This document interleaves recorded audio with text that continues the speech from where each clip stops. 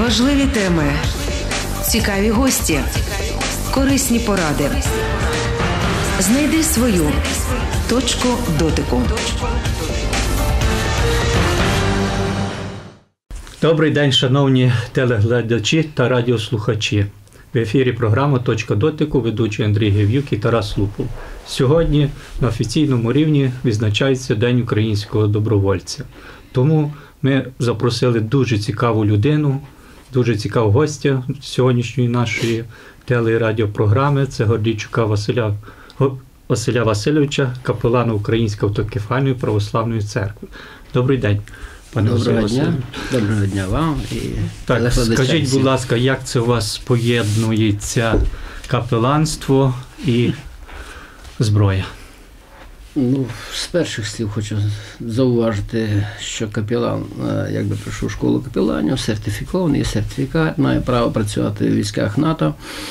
Є дозвіл, е, ну, як поєднання, і я е, і богослужіння і якби бути на передовій на нулю. Значить, я давно для себе вивчив, що церква завжди захищала народ. Не тільки духовно, на духовному рівні, але і також, коли нападали воїни, то, то вступали в, якраз тут на захист. І якщо навести приклад, то в нас є в Київсько-Печерській лаврі, на жаль, вона під московським патріархатом, але там є Ілля Муромець такий похований. Ну, ми всю чули, воїн, але він все-таки монах. Е, І хочеться згадати таке село Манєва Івано-Франківської області, де є монастир. Манявський скит. Манявський скит, так. Там були схемники, і ці схемники були воїни. Вони тримали шаблі в руках, е, списи. І е, якщо ви знаєте цю історію Манявського скиту, хто не знає, то, будь ласка, зацікавтеся. Для для телеглядачів буде цікаво, напевно, зацікавитись. То цей Манявський скит єдиний, який не пропустив турків на Україну. Але той, хто його відроджував, це воїн афганець, якщо не помиляюся, Так. так, само. Так. Значить, я для себе зробив висновок, тому я взяв зброю до рук. Е, Мені багато священників дають зауваження, як це так святий священник служиш і держиш зброю в руках. Я кажу, так, держу зброю в руках, тому що це мені допомагає підійти ближче до бійців, бо вони просто так не йдуть на розмови чи на відкриття серця. Це люди, котрі реально розуміють, що вони і мають на своїх руках смерти, хоча там це ворог, але все одно. І в них є питання, а що буде? І приходиться багато роз'яснювати, що є інші питання, тому що є заповідь, одна із слів Господніх таких, хто віддасть душу за брата свого, той спасеться. Е, Значить, е, такі воїни-захисники, я не думаю, що вони будуть осуджені, тому що вони захищають. Василю Васильовичу, ну щоб добровільно стати капеланом і потім так піти на війну і справді рятувати не тільки людські тіла, й душі тим воїнам, тим більше, що багато молодих хлопців там це звичайно і впливає як якийсь е, як добровільний вибір цього шляху, так і обставини життєвої біографії. От розкажіть трошки про ваш життєвий шлях. Ну, е, Можу розповісти, але я вважаю, що доброволець ще з 90, 1991 року. Чому? Тому що народ туди також вагався, що буде, чи розвалиться союз, чи не розвалиться, чи утримається. Всі пам'ятають, е, що було там з Горбачовим. Ну, це історія така трошечки. Народ вагався, але моє серце не вагалось зовсім, тому що мої батьки хоч були і вислані. в Красноярський край, де ми і народилися, всі е, в зоні відчудження, політична зона відчудження, значить, де вони перебували великі терміни, потім їм на пересилку 5 років далося, і потім можна було вже переселитися на Україну, де мій батько і повернувся із сім'єю, е, четверо дітей у нас, тобто брат і дві сестри. Так, значить, от хочу розповісти, що я не боявся, що буде знову вислання, що якщо повернеться назад радянська влада чи ще щось. Не боявся у 2014 році, що Янукович може повернутися, нас тут просто пересаджають неугодних. Тому що я розумію, що людина завжди повинна робити вибір. Мій вибір такий. З 91-го року, значить, до нас вже увірвалося, як би не сказав, увірвалося, а прийшла Українська православна церква автокефальна Київського патріархату. І в нас був архієпископ е, Данило, котрий вперше тут служив як Української православної церкви автокефальної Київського патріархату. Вибраний був туди, якщо ви пам'ятаєте, патріарх Мстислав. Патріарх Бомстислава, це треба також честь віддати людині, яка була патріархом, і яка вела свої особисті політичні дії і церковні дії. Значить, е, В 92-му році нас на Сагайдачно спалили церкву. Мій батько був там голова громади. І оце з 92 року по 95 рік, е, руками батька, руками моїми руками, руками моїми побратимами на сьогоднішній день, а туди не були друзі. Е, ця церква відбудована. Вона не зруйнована, відбудована, сьогоднішній день там ведеться служби, і це якраз завдяки цьому. Тому я політично був, як би сказати, загартований, і мені багато не Ну, Ви ще до, склались, наскільки повідомлені до від, відбудови відродження церкви Святої Параскеви Сербської. Так, так, я служив при подобні Параскеви Сербської, був диякон, я рукоположився в 1998 році, і служив до 2005 року, тобто 7 років я там служив, і був заступником голови громади.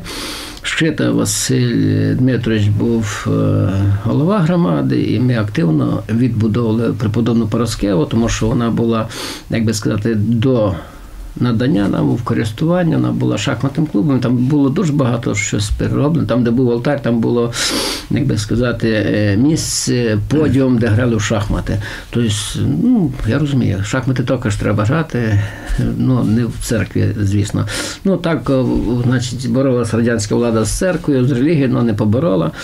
На велике, на велике щастя, ну Бога побороти ніхто не може. Це однозначно, бо він не творець. Значить, Тому я кажу, що приклав зусилля до великі зусилля прикладав для відбудови Параскеви. А у 2005 році мене направили е, в Київську область, е, Фасівський район, село Мотовилівська Слобідка, будувати церкву, де з нуля також з фундамента до сьогоднішнього дня відбудую церкву. Крім того, що я ще їжджу на фронт. Е, тепер я на ротації був три місяці. Це грудень січень лютий, 6 березня я приїхав лише, а це пару тиждень тому я приїхав з нуля. Ну, Це не, не перший перебув. раз. Це не перший цього. раз. 16, перший раз я поїхав у 16-му році, другий раз в 17-му, це в 18-му році, якраз ну, 17-18 рік, це вже другий раз я е, в першій окремій штурмовій роті добровольчого українського корпусу, правий сектор, значить, де командир є да Вінчі. Хотів собі відзначити і цю людину, щоб знав народ, і глядачі знали про цю це дуже видатна постать для мене. Е, користується повагою, тому що людина дуже тактично грамотна і свідома всьому, що вона робить, і без його командування, без його організації такої, мабуть, не було б це перше окремо штурмове. Тим більше, що він ще дуже юний. Дуже юний 23 роки, можете зрозуміти, це юна людина, але вона, ну, всі знають історію Наполеона, так що він юний був. так що така ситуація. Е, я священнослужитель не став дуже в юному віці, тому що мій вік якось так е, плинув, що е, ми політичні, народжені якби в четвертому відділенні, в паспорті і воєнному квитку є відзначення, що четверте відділення чомусь, ну, якби по відділеннях у бараках народжені то, е, звісно, було важко здобувати освіту, хоча я дуже мріяв бути офіцером, військовим. Е, мій батько був воїном УПАЗу, що й був висланий, е, псевдо його майор по Потильському районі, село Підзахаричі, де він активно захищав свою землю на той час. Ну, на жаль, сталося так, що їх арештували в Криївці. З тих, що лишилися живі, прийшли вони тортури, а потім виселення. А син зараз захищає на сході. Е, сину, я ніколи не думав, що е, наша держава Україна, яка так легко, я начебто хочу сказати, легко здобула вільну від е, залежності СССР. Е, ніколи не думав, що наше покоління буде воювати, але як бачите, біда не за горами, як кажуть, і вона стосується кожного. Хто думає, що обійдеться, не потрібно зволікати, і так думати, що вона обійдеться, не потрібно, не обійдеться. Це я зрозумів свого особистого життя. Все, ви спілкуєтеся з не тільки з фронт, ну, людьми військовими, а й місцевим населенням. Якщо взяти так в цілому, та на сході України місцеве населення, яке у них ставлення за цих 4 роки війни? Змінилося, не змінилося? Що? Тобто ми якось цих людей намагаємося там відділити свій чужий, але це ж такі самі українці, це ж ті самі громадяни України, якщо вони не, не за національністю українці, так чи в них є якесь уявлення, що там відбувається? Вони якось якось мають розуміння, що таке держава Україна, так, у них є любов, чи вони от е, руський мір, чи вони е, хто більше заплатить гречко та гречко і тому подібне. Які ці люди, тобто ми не все розуміємо, не знаємо, тому що ми не маємо можливості там побувати і не, і не будемо, так, у силу різних обставин. А ви є, спілкуєтеся з різноманітним місцевим населенням, я маю на увазі ті, хто там проживає повздовж лінії фронту. Як яка де ситуація? Ну і до речі, чи вони, наприклад, у розмові також е, бачачи, що ви капелан так е, української добровольчих батальйону, то чи піднімають духовні питання? піднімають. І хочу сказати, щоб всі розуміли, що е, ми інформаційну війну проіграємо. Ми програємо її. На Донецькому напрямку, ну, скажімо, напрямок Авдіївки, де я останній раз перебував, з тактичних дій не буду говорити, з поселення, там не потрібно цього, е, бо буду знати, де стоїть е, перша окрема штурмова, чи там е, УДА. Це не потрібно, це тактичні події, так що це не. Але скажімо так, серед населення дуже часто спілкуюся, дуже часто, доволі часто спілкуюся. В населених пунктах, де ми були, ну, телебачення все проросійське. На жаль. Ну, телевізор наскільки Е, впливає на Канали які спіймати українські, це треба, щоб була хороша погода. І, Ну, але хочу чому вони так довіряють телевізору? Чому вони вірять ящику? Всі довіряють телебаченню, це основне. Якщо б на сьогоднішній день забрали людей телебачення і гаджети, все, людина просто чахне. Як хворий в лікарні, лікар не прийшов, вона чахне. Ну я реально правильно вам кажу, я не то, що обманюю, це ж, е, це ж правда. Ну, от телебачення всі дивляться, там все проросійське. Но спілкуючись з людьми, вони налаштовані е, проукраїнські. Це наша територія. Е, Там на тій території я не був, вибачаюсь, не можу нічого сказати. Але недавно в у Фейсбуці бачу, що в Луганську, в самому Луганську під пам'ятником е, Шевченка, по-моєму, чи Пушкіна, не пам'ятаю, пам'ятник Пушкіна, по-моєму, бабка старенька вийшла з флагом України, всі там називали, що вона там е, різними словами обзивали, там, ну, вона все одно е, цитувала Шевченка. У Луганську, можете собі. Багато, звісно, там я бачив по Фейсбуці, що багато людей вже так прихильно її слухали, тому що, е, ну, начебто, вірші Шевченка стосується нас на сьогоднішній день. От.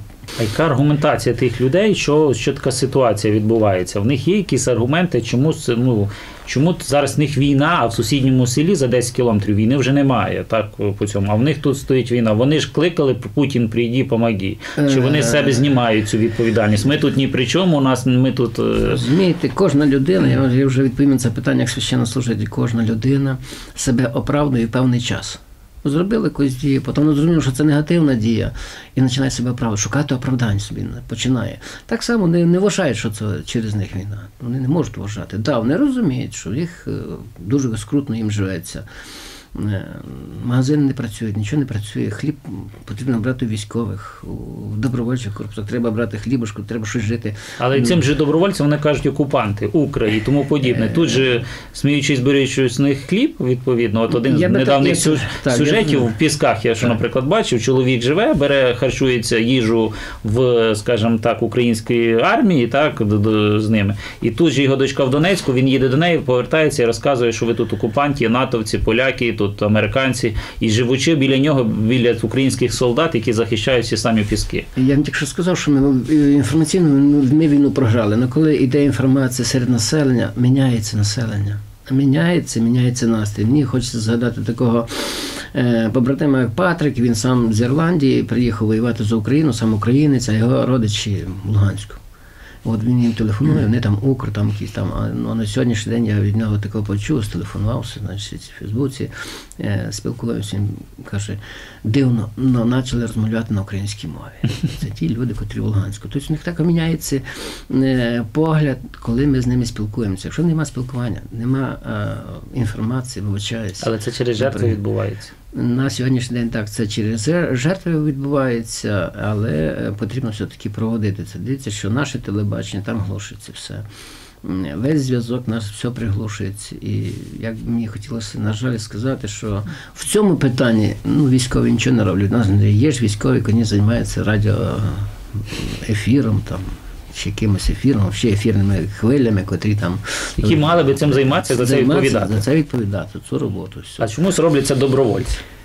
Е, Багато дещо беруть на себе добровольці, тому що військові, на жаль, не всі, але, на жаль, зустрічав таких командирів, котрі розповісти одну історію, якось би хотілося. Ну, для телебачення знову виїжджає трактор копати позицію, все про півтора кілометра до трактора. Ну, чим ти його зіб'єш? Ну, з автомата не, не досягнеш 300 метрів, ну, 500. Ну, ладно, 7,62 автомат е, на 700 метрів дістане. Все, це все, що можна. Е, Ну, з кулемета ну, не достанеш також. З ДШК, да, дістав би. Ну, військові з ДШК не стріляють, у нас перемир'я. Трактор позицію викопав, уїхав. Трактор позицію купав цілий день, можна було його там підбити, щоб більше не розкопав. Позиція викопана, щоб ви розуміли, під танк або під град, щоб заїхав. І що нам туди робити? І після цього загине не одна сотня. І не одна сотня. Тобто військові, поки вони радились, поки вони там розмовляли, поки це налаштовували, сказали, це все просто принесли ДШК, установили, оце буде півгодини це все вартувати. І то з того трактора ми його запалимо, з БЗ пустимо, бронебойний зажигатель, і з трактора вже лише дим піде. І більше тракторист копати не буде. Я розумію, що може він також не хотів копати, його військові заставили. Все може бути. Ну, якщо піде підпал такий постріл, то все зрозуміється, що не можна так нагло нагліти. Тобто е, російські війська нагліють, наші війська розчухаються, а добровольці повинні е, прокопати траншеї, вибиратися вперед і щось робити таку дію, а потім казати, нас тут нема. Все на все. Ось така ситуація. Сергій Васильович, а такий випадок, що якийсь переконаний агностик атеїст став віруючим. Дуже багато. воїнів? Дуже багато таких випадків, тому що один з випадків можу розповісти, коли пішов наблюдати на військовій, це 16-го року ще. е, Такого з понаблюдати ніч, щоб ви розуміли, може бути ДРГ, все, що хоче, він пішов на понаблюдати. І пішов тут перехресний вогонь пішов. Е, З кулеметів, навіть до ДШК дійшло. Значить, пішов перехресний огонь, але він перед цим, потім він мені розповідав, прибіг такий, він ще так, я там, мені цього не вірив, і після цього перебіг вже з того, над ним якраз перехресний огонь пішов. Він каже, перед цим каже, Бог є. Каже, що ти це взяв? От, от реально, як ти це усвідомив? Такі 5 хвилин. То все, перехресний вогонь йшов 5 хвилин, ну 10 хвилин, там 15, ну це було це все. Це історія. Ну, для мене також прикладом служить. Ну, якось так. Е, Друг атеїст, і тут раптом вже Бог є. А Бог все таки, каже, чим? Каже, ти розумієш, наді мною якесь запалилося сяве, я заляг від того сяве, налякався. І тут, каже, пішов перехресний огонь наді мною. Я кажу, бачу, як то все дивно стається. Тепер що будеш робити? Я не знаю, як молитися, казати не потрібно. Своїми словами можеш до Бога звертатися. Я розумію, що є молитовники, є, як би так правильно сказати, є напрацьовані молитви. Але ти можеш своїми словами Боженьки подякувати, якщо ти хочеш. Да, він став і подякував, бо підняв руки і сказав, дякую Господи, що я живий. Всього на все. Є випадки, дуже багато, доволі багато таких випадків є. Е, З першого разу, коли я був е, на першій ротації, не всі військові підходили і розмовляли про е, божество. Не розмовляли, тому що вони були як закриті. Ну, після першого бою, коли мені прийшлося, я бачу, що Бистренько рожки розряджаються, і прийшлося їм заряджати просто рожки, вже ж так, що особо в бій не входив. Заряджати рожки лише ну, проста допомога. То вони потім після бою вже щиріші і відкритіші. Е, Це мені дуже допомогло спілкуватися з військовими. На сьогоднішній день мені вже легше, тому що це вже напрацьована праця. Я вже знаю, як підійти до них. До таких хлопців вони закриті. Звісно, якщо ви спілкувалися з багатьма добровольцями, вони чуть призакриті. Вони не все можуть розповісти, не все сказати, тим більше і навіть і священнику. Але коли вони вже по тому узнають, підходять, розмовляють, на це є якась вільна годинка, і задоволенням даю відповіді, на що можу дати, бо є і такі питання, що я ще сам в життю не дав на то відповідь собі. Тому що все життя людина знаходить нові нові питання, і згідно з Євангелієм, з Біблією, нові питання знаходяться. Духовні питання знаходяться, ну і життєві питання виявляються різні. Щось десь згадав, що щось зробив неправильно, хотів би е, переробити, перелаштувати це все. Ну, вже е, розумію, що це неможливо. Е, Тому е, шукаю оправдання, як кажуть, або собі якихось висновки роблю і шукаю ще собі відповідей. Сисич, є багато питань, які незручні, тобто Так. які про які ви тепер тільки що сказали, які тяжко відповісти. Спілкуючись неодноразово в цій студії там з, з різними атовцями, я ми розуміємо, що є теми, про які вони ніколи не розкриють, не скажуть. Так, тобто, ну в силу різних обставин, ну є такі закриті теми, які якби хто хто. Ну, не будемо про це зараз.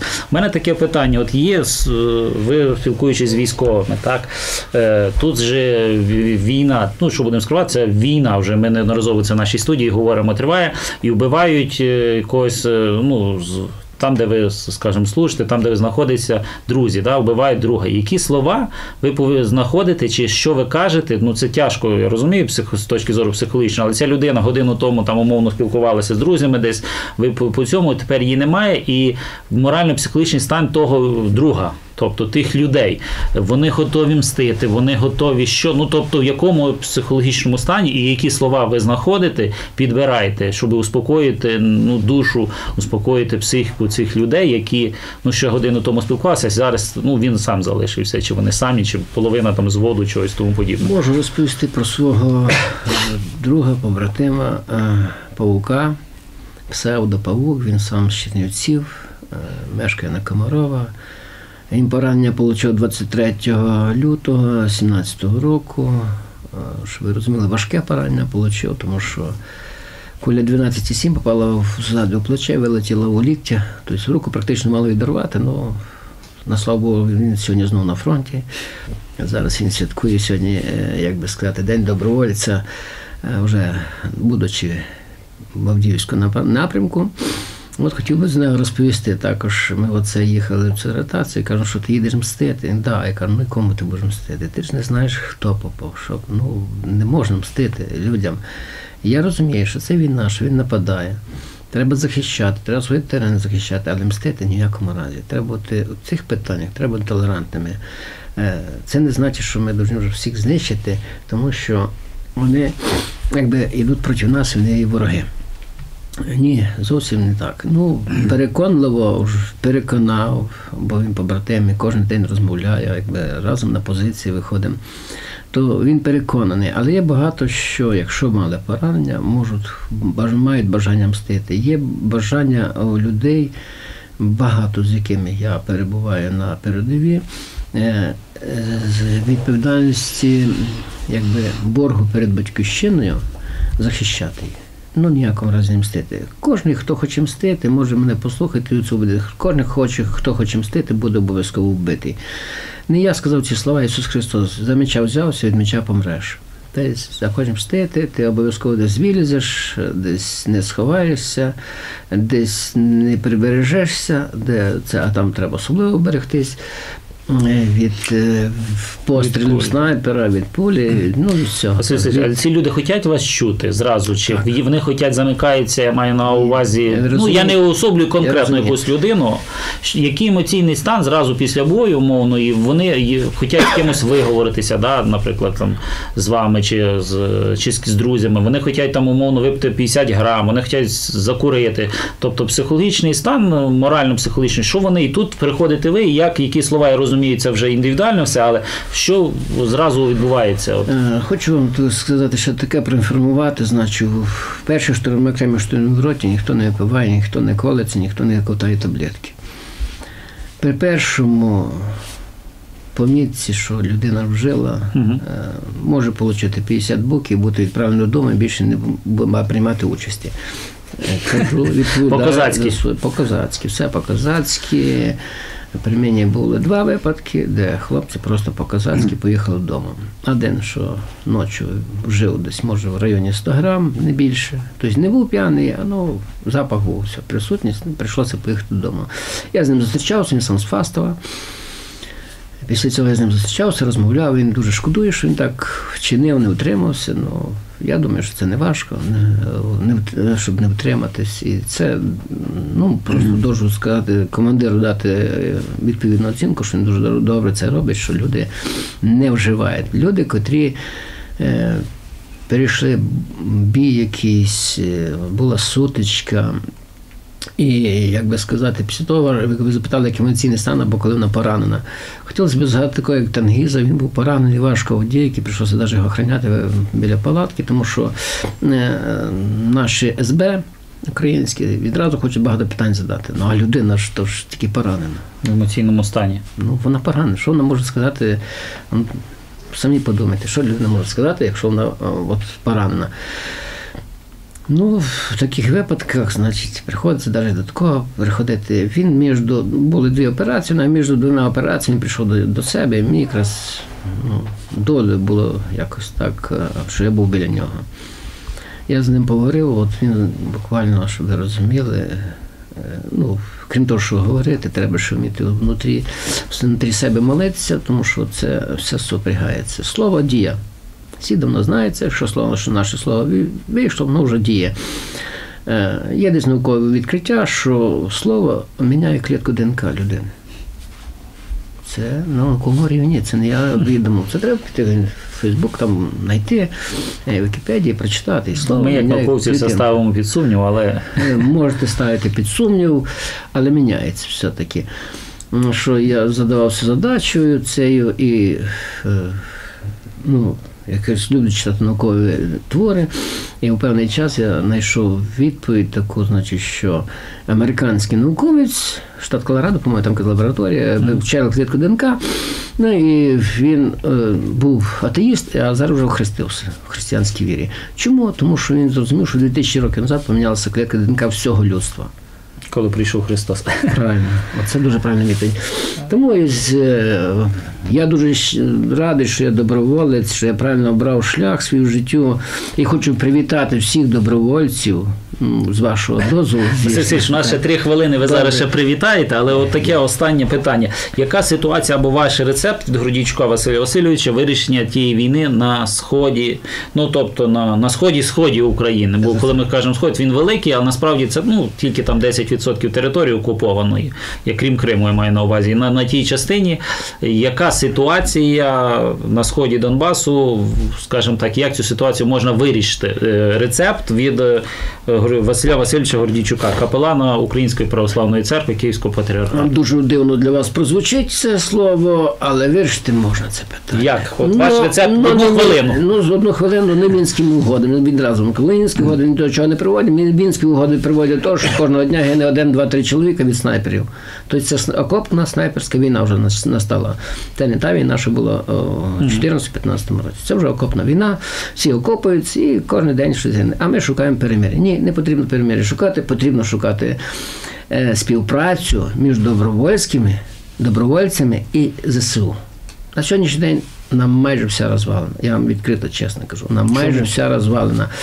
Не кожен командир, скажімо, от мені згадується 25-та бригада, де ми були, ну не кожен командир хоче співпрацьовувати з добровольцем. Боїться, остерігається. Конкурентів бачите? Ну, не знаю, чи бачить конкурентів, що він бачить. Ну, тут ну, до того призводить, що коли не йдуть втрати, то саме до нас звертається, до добровольців. Ну, у нас у першій окремій штурмовій роті є е, така медицинська допомога, називається Ульф, і вона дуже серйозно працює. І коли чоловік отримав поранення ЗСУ в шию і пролетіло через гортань, вилетіло біля нижньої щелепи то бідні е, просто військові медики затрусилися, док надав допомогу наш, е, якби. Е, це псевдо, він є лікар, і у нас кожний командир узводу проходить навчання ТСС по надання допомоги військової. Це на різниця від громадянської. Дуже серйозна різниця, і вони кожен проходять цю програму TCC, по допомоги. Тому вертаючись, як налагодити цю співпрацю, якщо коротко, і ми будемо завершувати. Це потрібно налагоджувати на рівні командирів. Якщо в мене є командир, я так як би сказати, трохи озвучу да Вінчі, должен працювати з командиром. Наприклад, 79-ї бригади. Вони повинні скомандуватися. Командир 79-ї бригади должен докласти своєму командиру, тому потрібно співпрацювати. Хлопці присутні, давайте разом працювати. Тобто немає численка українська натура, два, де два козаки, три гетьмани. щось воно таке і похоже на сьогоднішній день. Не хотілося б так, значить, е, скептично, але хотілося, щоб це все вже це ми цю територію відвоювали, вже і навіть добралися до Криму. Василь Васильович, в день добровольця сьогодні українського добровольця. Е, яким ви бачите цей рух через 5-10 років? Ми надіємося, що навіть цього року і завтра закінчиться війна, але ну, треба дивитися на в реалії, що ця війна надовго, але якими будуть добровольчий рух е, через 5-10 років в Україні? Е, я думаю, що в цій студії був командир тактичної групи 450. Ви, напевно, вже це чули з нього, друг Лев. Значить, оцей доброволець також. І він вже надалі планує е, вишкільний табор Добринівці. Де добровольчі е, не розказував у нас так, так. він розповідав, і це можна знайти, напевно, знову значить, в Вікіпедії і це все переглянути. Значить, е, в нашій Чернецькій області є вишкільний табір Добринівці. Цим коригує командою Лев. Е, побратим, значить, і я бачу це, що багато дехто має напрацьовань військових, не можуть вишкілювати молодь. Колись у нас, якщо пам'ятаєте про Радянську Союзу, перед армією десь в школах, в технікумах вивчали військову справу. Тобто це та сама підготовка. У нас зараз немає ніякої підготовки військово, для військових справ. Ну, Хіба хлопці самі зацікавлені і туди виїжджають. Наприклад, у нас є Червона Діброва, е, там є Казацька Січ керує там е, Валерій Чоботар. Я можу також доброволець, щоб ви розуміли. Там пластуни дуже часто організовують. І пластуни так. От, а Володя Чеботар, він, по-моєму, зараз є, як би сказати, голова громади е, Червоної Діброві. Е, там є маленька така капличка у лісі, покрою Престої Богородиці, де відбуваються божественні служби. Молодці, хлопці, просто їм згадую. Ну і з нас Чернівецької області ще, як би сказав, такий доброволець, назвав би його, як є Валерій Одайський, котрий верх у Ворохті, також тренує хлопців, у них і там курінь. Е, де вони також виховують. Я бачу наш е, добровольчий такий е, рух. рух, що він буде вишкалювати. Він не може бути, наприклад, стояти там в керівних лавах. Якщо він там і не дійде, хоча б я довів би і до керівних лав, тому що у нас, наприклад, доброволець є Барс, котрий якби також займає посаду в обласній раді і робить певну справу. Василь шкода, але передача вже добігла до кінця. Ми вже просто виходимо з ефіру. Якщо так коротко, побажання нашим теле і радіослухачам, що ви їм побажаєте в сьогодні в день добровольця, це ваше, скажімо, таке свято, свято таке щоденне ваше свято. Будь ласка, якщо коротко, 30 секунд, побажання нашим теле і радіоглядачам. Дякую всіх, хочу добровольців привітати з цим великим святом. Бажаю, щоб всі добровольці також об'єднувалися, е, разом співпрацьовували, тому що є таке, як кажуть, е, на одного козака три гетьмана, це кругом присуще чомусь. Але хочу, щоб всі добровольці об'єдналися. Е, щоб робили всі спільну справу, ну на користь України, звісно. Бажаю всього найкращого, особисто це здоров'я, що потрібно. Ну і пам'ятати про такі великі, як би сказати, попередження не висовуватися. Це дуже я кажу хлопцям, котрі на нульо стоять, то кажу, хлопці, основне правило не висовуватися. В автобусі пише, не висовуйся з вікна, а в метрополітені не висовуйся з вікна, кругом не висовуйся. Так, там, там треба не висовуватися, вміти вести себе е, тактично, правильно, грамотно. Всіх щиро вітаю святом, щастя, здоров'я і все найкраще. Ми також приєднуємося до таких чудових слів Гордічка Василя Васильовича. Це капелан Української православної автокефальної православної церкви Київського патріархату. Дякуємо за те, що він сьогодні завітав до нас студії і розказав про ситуацію, яка на сході, ситуацію, яка в добровольчому руху. З вами сьогодні працювали Лупул Тараса Ярославич та Андрій Гів'юк. Ми ще раз вітаємо всіх добровольців з їхнім сьогоднішнім днем. Бажаємо, щоб поменше було втрат і серед них, щоб відповідно над нами всіма було мирне небо, і ця війна, російсько-українська гібридна війна, якнайшвидше закінчилася. Дякую е, всім, хто був сьогодні з нами, всі, хто нас слухав і дивився. Почуємося з вами за тиждень в програмі Точка дотику на е, на ТРК Буковина. Залишайтеся з нами на все добре. Важливі теми, цікаві гості, корисні поради. Знайди свою Точку дотику.